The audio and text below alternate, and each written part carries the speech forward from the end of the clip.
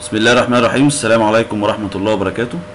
هنتكلم دلوقتي على ال plan الإنشائي. طبعا إحنا خلصنا خلاص إزاي بنرسم plan معماري وإيه التفاصيل اللي هي بتبقى موجودة فيه.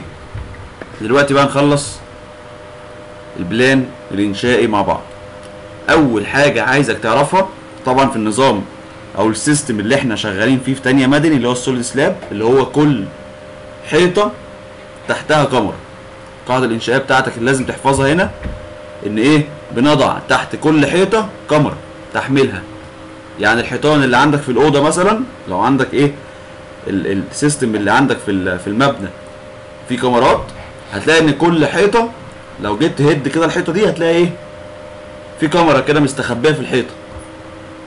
تمام؟ فدايما بنحط كل حيطة تحت كل حيطة إيه؟ كمرة. بتشيلها. طيب كويس. يبقى هنا عندي لما كان ال plan المعماري بالمنظر ده. ادي ال plan المعماري اهو. أنا هشتغل على نفس ال plan المعماري ده واحوله plan إيه؟ انشائي. اماكن العمدان اللي أنا كنت مقترحها خلاص هسيبها زي ما هي. يبقى الاربع عمدان دول اهم اللي هم متهشرين دول. موجودين عندي زي ما هم في نفس إيه؟ مكانهم. طبعا بنفس المقاسات بنفس كل حاجة. تمام. إيه كمان؟ سمك الحيطة دي. طبعا خطين اللي هم دول دول إيه؟ حيطة. طيب الحيطة دي إنشائية ولا غير إنشائية؟ ها افتكر معايا. هي شايلة حمل. لا مش شايلة حمل.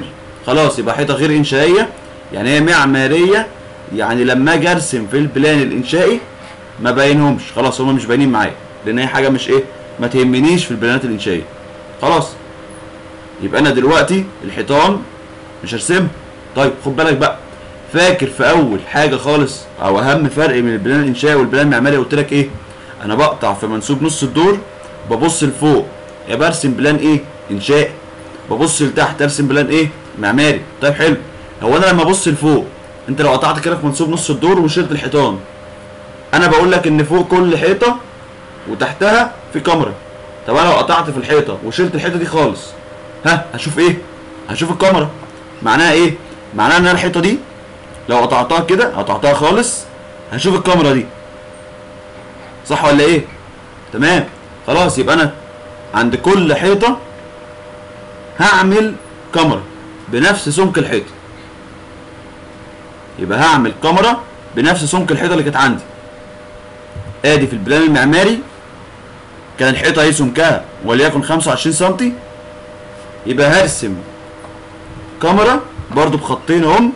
بنفس السمك اللي هو إيه أو نفس العرض اللي هو إيه 25 سم جميل. نفس الكلام بقى. في ال plan المعماري كان في إيه؟ باب. طيب هو أنا في ال plan الإنشائي يهمني خالص إن أرسم آه، الأبواب والشبابيك؟ لا ما هي دي حاجة غير إنشائية. يبقى مش هبينها. يبقى اشيل الباب اللي عندي هشيل الباب ده واشيل الشباك ده. هشيلهم معناها إيه؟ معناها إن في كمرة مكملة. لو أنا قطعت في منسوب نص الدور وشلت الحيطان والأبواب والشبابيك وبصيت لفوق ها؟ هيبان لي الإيه؟ الكاميرات. بالظبط أهو. أنا شلت الباب اللي كان هنا ووصلت الكاميرا أهي. نفس الكلام. هنا كان في شباك شلته وصلت إيه؟ الكاميرا. هو ده اللي أنا عملته في البلان الانشائي أهو. شلت الشباك ووصلت الايه الكاميرا. تمام. طب ما إيه اللي في النص ده يا باشمهندس؟ ارجع تاني للبلان المعماري. أنا بقول لك ان الحته دي كانت حيطه ومكمله كده بس إحنا قطعناها عشان نبين لك بس التفاصيل اللي جوه ماشي؟ يعني إيه في حيطه هنا كده؟ في حيطه هنا كده. تمام. في البناء الانشائي هعمل إيه؟ هشيل الحيطه. بس أكيد فوق الحيطة دي في إيه؟ في كاميرا. خلاص أهو. ادي الكاميرا بتاعت الحيطة دي. يبقى أنا بعمل إيه؟ بخش على البناء المعماري. أشوف كل الحيطان وأحط أنا- آه، مكانها إيه؟ أحط مكانها كاميرات. كويس. طبعا بيفضل إن إحنا نعمل سمك أو عرض الكاميرا بتاعتك بتساوي عرض الحيطة. ليه؟ أنت دلوقتي لو عندك في الأوضة في كاميرا هتلاقي خارجه كده ببروز من الحيطة. الحيطة مثلا سمكها 12 سم والكاميرا 25 مثلا فوقيها كده. هتلاقي في بروز كده طالع من فوق كده من ناحية السقف. شكلها وحش. اولا شكلها وحش ثانيا الراجل وهو بيبيض بيتضايق. وهو بيعمل نقاشة كده بيتضايق. ليه؟ في حتت داخلة وحتت خارجة وبتاع. الكلام ده كله بيقلل من سعر الايه؟ الشقة. لما تيجي كده راجل مقاول عامل شقه معينه بالمنظر اللي هو 25 سم كاميرا تحتها 12 سم حيطة دي والكلام ده وطالع ببروز كده لما بيجي الراجل يشتري الشقة بيقولوا لا الكلام ده بي- بينقص من سعر الشقة بتاعتك. فطبعا الكلام ده إحنا بنحاول إيه؟ نتلاشاه خالص. كويس. إيه كمان؟ في ال plan الإنشائي عايز أوضح يبقى إحنا خلاص وضحنا ال beams عايز أوضح حاجة اسمها ال slab thickness. slab thickness اللي هو إيه؟ سمك البلاطة أو السقف اللي عندك. أنت السقف اللي أنت عندك في الأوضة ده سمكه كام؟ طبعا سمكه أنا ما يهمنيش خالص إذا كان أنت عامل سيراميك ولا عامل بلاط ولا عامل آه، موزايكو ولا عامل أي حاجة. أنا ما يهمنيش التشطيب خالص. أنا بيهمني الانشائي اللي هو إيه؟ الخرسانة المسلحة بس. السقف كخرسانة مسلحة بس. سمكه كام؟ تمام؟ فغالبا يعني سمك ال solid slab اللي هو النظام اللي إحنا ماشيين فيه دلوقتي في تانية مدني غالبا بيبقى آخره 160 مللي. 160 مللي يعني 16 سم ده أقصى سمك يعني بنشتغله في الإيه؟ slab thickness في التانية مدني يعني اللي هو ال solid slab بعد كده بيبقى مش اقتصادي قوي إن إحنا نشتغل solid slab هنشتغل أنظمة تانية هنعرفها بعد كده في تالتة مدني بإذن الله. خلاص؟ يبقى بوضح حاجة اسمها إيه؟ ال slab thickness دايما بوضح ال slab thickness في المنظر ده. بعمل كده شكل المعين ده اللي هو الأسود ده وأوضح جواه حاجة اسمها ال TS اللي هي slab thickness خلاص؟ ال TS دي طبعا بتبقى برقم ما بنكتبش TS كده بنكتب رقم مثلا 16 آه 15 15 يعني 15 سم 16 يعني 16 إيه؟ سم طيب حاجة كمان دايما لما بقى في كمرة كده فاصلة بين فراغين بعتبر إن الحتة دي كده لوحدها بلاطة أو سقف يعني والحتة دي ليها سقف مختلف. يعني إيه؟ يعني ممكن ال ts دي تبقى مثلا ب 16 ممكن دي تبقى بكام؟ ب 14 مثلا. مفيش أي مشكلة. ما دام في كمرات كده فاصلة بين البلاطتين أو السقفين دول ممكن ال ts تبقى مختلفه أو ممكن تكون واحدة طبعا حسب ال design اللي أنت بتعمله. تمام. إيه كمان؟ عايز أوضحها في ال plan الإنشائي؟ عايز أوضح ال beam dimensions ال beam dimension ابعاد الكمرة. الكمرة بتاعتك دي ابعادها كام في كام؟ يعني إيه كام في كام؟ هي مستطيل. يعني عرض في طول طيب كويس.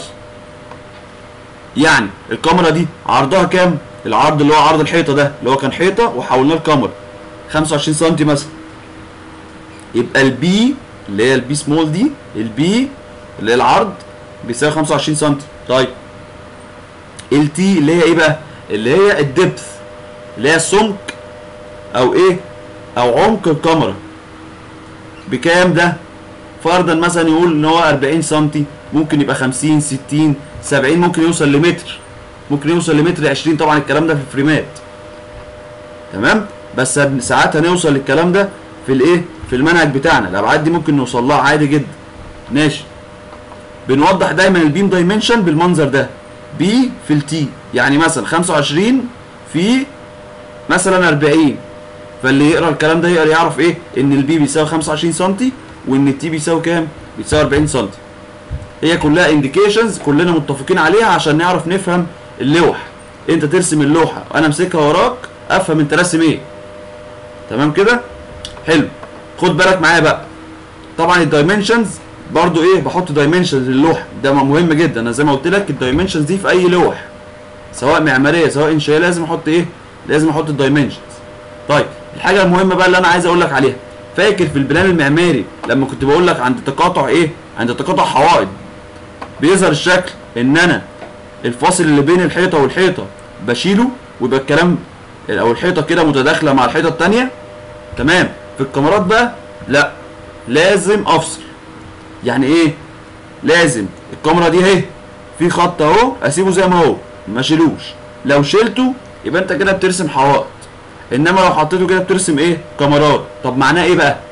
معناه ان الكاميرا دي اللي هي اسمها بي 1 اللي هي دي الصغيرة دي بترمي حملها على الكاميرا الكبيرة اللي هي بي 2 دي لا فهمني فهمني أكتر يا باشمهندس. دلوقتي أنا بقول لك الكاميرا مادام مكملة الخط بتاعها مكمل كده تبقى هي الكاميرا اللي شايلة. هي الكاميرا اللي إيه؟ اللي شايلة. إنما مادام الكاميرا دي وقفت هنا كده ما كملتش يعني إيه؟ يعني نجيب كده بقلم معانا. افرض مثلا البلان ده مكمل معايا هي مش أوضة كده بس هي هي من المبنى مكمل معايا الكاميرا دي هتكمل معايا شوية. لو أنا رسمت كده الخط أهو قطعته وبعدين كملت كده الخط ده قطعته وبعدين كملته كده. خلاص؟ دي كده إيه؟ الكاميرا. يعني دي كده الإكستنشن بتاع الكاميرا اللي هنا. كويس. قول لي بقى مين اللي شايل ومين اللي متشال؟ أنا بقول لك إن دايما ما الخط بتاع الكاميرا مكمل ما اتقطعش يبقى هو الإيه؟ هي الكاميرا اللي شايلة. طب ما الكاميرا دي الخط بتاعها اتقطع كده وبعدين كمل تاني يبقى كده الكاميرا دي هي إيه؟ الكاميرا المتشالة. خلاص؟ كويس.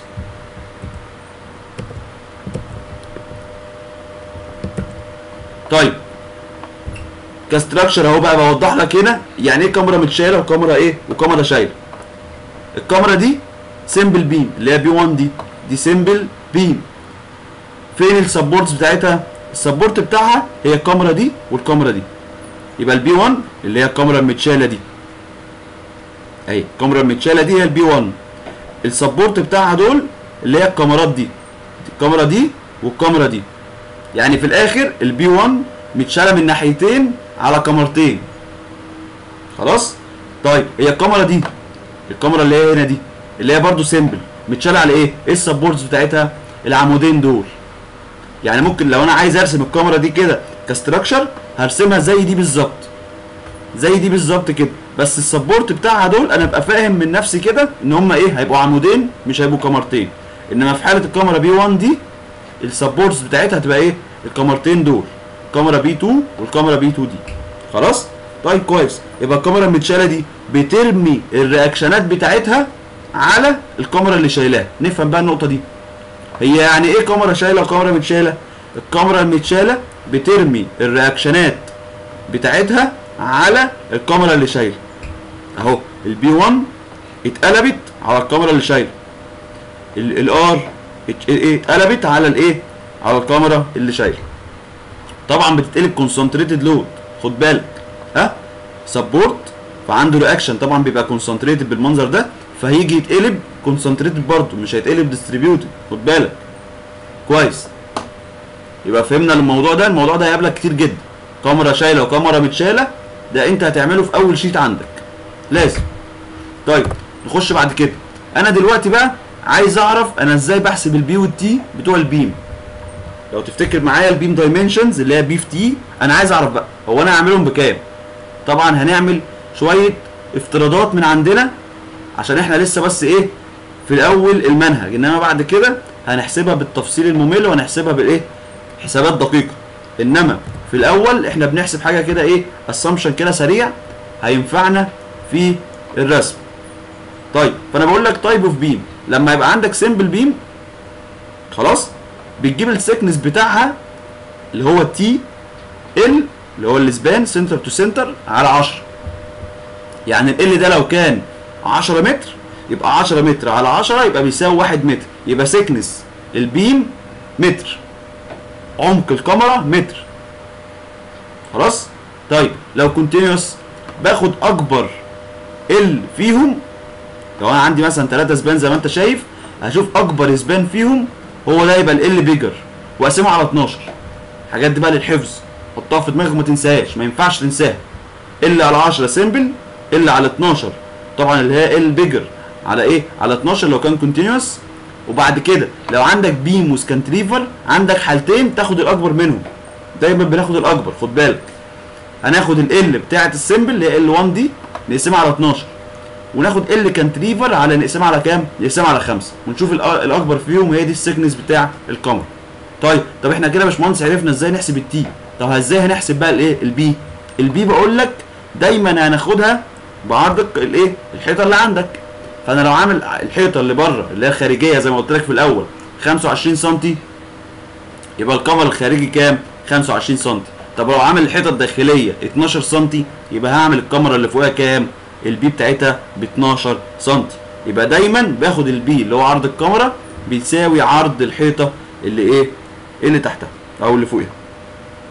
طيب سريعا كده ال thickness ده مش دايما بيطلع رقم صحيح يعني ممكن ال t دي بتبقى 9 متر مثلا. طب هي 9 على 10 بكام؟ ب point 9 point 9 متر دي هينفع ناخدها ولا ما ينفعش؟ أنا دايما بقول لك باخد الرقم بقربه لأقرب 50 مللي بالزيادة. يعني إيه؟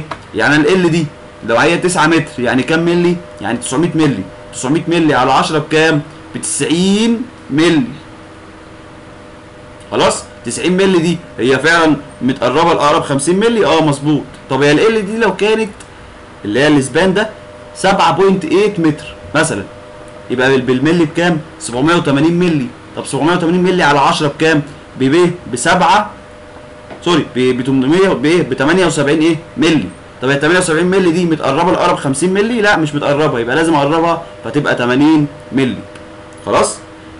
دايما ما بنحاولش ابدا نقلل t الكمرة عن 40 سم لو اللي هي 400 مللي يعني. خلاص؟ ما بنقلش ابدا ابدا عن إيه؟ عن 400 مللي. خد بالك اللي هو ال thickness ده. ما ينفعش يقل عن 40 سم لأن عن لو قلت عن 40 سم الكاميرا دي مش هتشتغل تقريبا. ويحصل لها انبعاجات وحاجات كده. خلاص؟ فالكلام ده في الكود بيقول لك إن أقل تي للكاميرا بيساوي 40 إيه؟ 40 سم طيب. ملاحظات إيه؟ ده كده شكل الكاميرا. أنا هو لو عندي عمود وطالع منه كاميرا وأدي السلابة اللي هي حواليها دي طالع طرطفه كده وطرطفه كده من ال slab. طبعا أنا قاطع يعني باقي المبنى. كويس.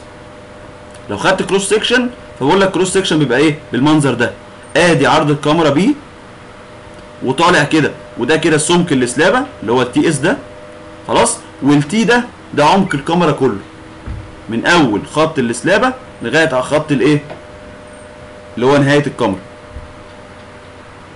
طيب فبقول لك أهو عادة نأخذ عرض الكمرة بيساوي عرض الحيطة أسفلها. يا إما 120 مللي يا إما 250 مللي حسب الحيطة اللي أنت عاملها. رقم اتنين سمك الكمرة يؤخذ 400 مللي فيما فوق. زي ما بقول لك t minimum بيساوي 400 مللي. وطبعا بيتم حسابه منين؟ من الجدول. طبعا ما تجيش كده تقول لي إيه أي كمرة في الدنيا اخدها 400 مللي وخلاص ما هي t minimum طب ما هي minimum إيش عرفك إن هي محققة؟ الشروط اللي إيه؟ اللي في الجدول دي. اللي هي لو simple ولو continuous ولو simple إيه؟ و cantilever.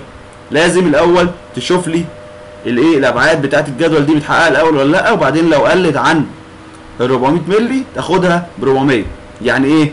يعني فرضا ال simple beam دي جيت تحسب ال L على 10 طلعت t دي ب 300 مللي. هينفع تقول إن ال thickness بيساوي 300 لا. إحنا بقى أنا بقول لك بقى إن التي مينيمم بيساوي كام؟ 400 يبقى هي لو بتلعب 300 تقول له لأ هنأخذ الإيه؟ التي ب 400 مللي. ماشي. في ملحوظة مهمة جدا والناس بتتلخبط فيها. في حاجة اسمها كاميرا مقلوبة وكاميرا ساقطة. طبعا الكلام ده من دلوقتي هتعرفه زي اسمك هتقابله كتير جدا. كاميرا ساقطة وكاميرا إيه؟ مقلوبة. خد بالك. أنا دلوقتي لو جينا في ال plan راسم لك الخطين بتوع الكمرة دول إيه؟ راسمهم لك solid أول ما تلاقي plan إنشاء مرسوم فيه الكمرات solid اعرف إن دي كمرة إيه؟ ساقطة. يعني إيه بقى ساقطة؟ يعني الجزء الجزء ده نازل لتحت ال slab. دي ال slab أهي. اللي هي الايه؟ ال ts أول ما تلاقي السقوط بتاع الكاميرا ده نازل لتحت الايه؟ نازل تحت البلاطة كده يبقى دي كاميرا ساقطة. طب لو الجزء ده طلع لفوق بالمنظر ده كده بقت كاميرا مقلوبة. هتقول لي إيه ده يا باشمهندس؟ هي الكاميرا بقت فوق البلاطة؟ آه هقول لك آه. قول لي طب إزاي؟ مش انت بتقول لي ان الحمل دايما بيتنقل من البلاطة للكاميرا؟ يعني دايما الكاميرا هي اللي شايلة الإيه؟ البلاطة؟ أقول لك صح. قول لي إزاي حاجة فوق البلاطة تكون شايلاها؟ أقول لك افهم. دايما احفظها إيه دايما الكاميرا سواء ساقطة أو مقلوبة هي إيه؟ هي من تحمل البلاطة وليس العكس. لا مش فاهم. هقول لك تنفيذيا عشان تعمل حاجة شايلة التانية بتخلي تسليح الحاجة دي تحت الحاجة اللي انت عايز تشيلها. بالراحة دلوقتي انت عايز تشيل تشيل الكاميرا وتخليها تشيل إيه؟ تشيل البلاطة. فتحول تحط تسليح الكاميرا تحت تسليح البلاطة. طبعا الكلام ده تنفيذيا وهتعرفه قدام شوية. بس أنا بقول لك دلوقتي عشان لو جه طبعا أكيد هيجي لك فضول تعرف هو ليه الكاميرا مقلوبة وبرده شايلة الايه؟ البلاطة. فأنا بقول لك أهو بقول لك تسليح الكمرة يتحط تحت تسليح البلاطة فهي كده شايلاه. خلاص؟ سريعا كده في ال plan. لو أنا راسم لك الكمرة خطين solid تبقى دي كمرة ساقطه إنما لو راسم الكمرة خط solid وخط منقط خط dotted يعني يبقى إيه؟ يبقى الكمرة دي مقلوبة. ماشي؟ مهم جدا الكلام ده. طيب تمام. المرة الجاية إن شاء الله هنتكلم على إيه؟ ال foundation طبعا لسه كل ده بتكلم على ال skeleton building إيه ال skeleton ده؟ فكرني كده تاني. ال skeleton ده اللي هو بقول لك كل الأحمال الراسيه الأعمدة بس اللي شايلاها. الحوائط ما بتشيلش أي أحمال راسيه ابدا. تمام؟ والسلام عليكم ورحمة الله وبركاته.